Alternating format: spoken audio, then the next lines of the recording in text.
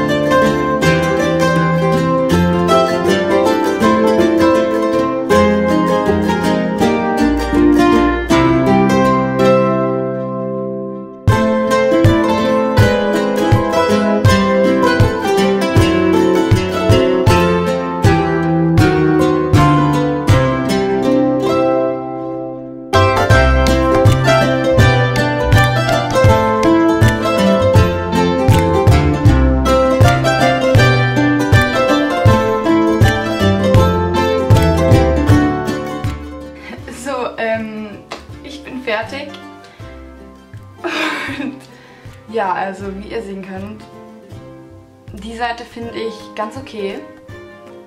Bis auf, dass ich halt da ja rausgemalt habe. Aber die Seite, die geht überhaupt nicht. Überall rausgemalt. Der Eyeliner-Strich ist total dick und also ich schmink mich doch lieber weiter mit rechts, aber jetzt weiß ich, dass ich mich echt anstrengen muss, wenn ich mit links schminken müsste, falls ich irgendwas am anderen Arm habe.